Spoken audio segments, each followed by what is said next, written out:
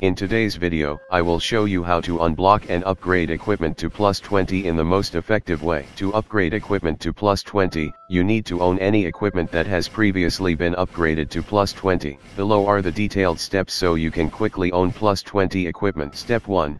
Prepare any set of items. Prioritize sets with effects related to increased damage to farm more effectively. Step 2. Switch the Divine Beast to Yinglong to get a effect that increases the chance of dropping equipment. Step 3. Move to map Let's make our halberds shine in part 7. Step 4. Store all chi points to avoid losing them when you die. Step 5. Go to the flag. Select battle preparation. Then select inner discipline. Adjust the difficulty to the highest level and finally select Nullify Special Effect. Do not use the equipment's effect. Make sure the last entry says Nullify Special Effect. Step 6. Look in the left corner, if you see a minus 14 to 19 appearing, you have adjusted it correctly. Then go out and press the option button and look in the upper right corner and you will see that the drop item will become a 15 to 20, meaning now you can pick up plus 20 equipment. Step 7.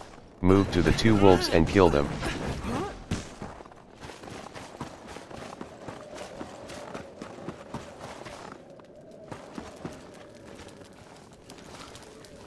You can use sneak stab or normal attack.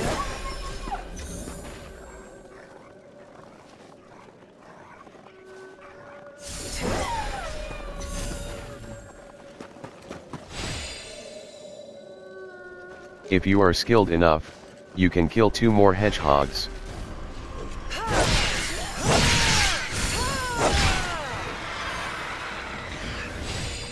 Then use the Mystic Crane item to fast travel to the battle flag. Repeat until you collect plus 20 equipment. Remember the following notes. Note 1.